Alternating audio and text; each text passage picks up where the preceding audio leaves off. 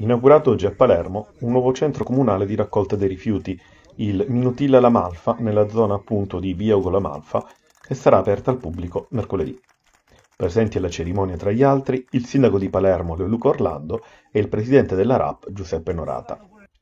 Un progetto condiviso con l'amministrazione comunale, un'altra apertura che tenta di distribuire i centri raccolta in maniera equa nelle varie zone di Palermo, in attesa dell'avvio di altre due strutture previste in città.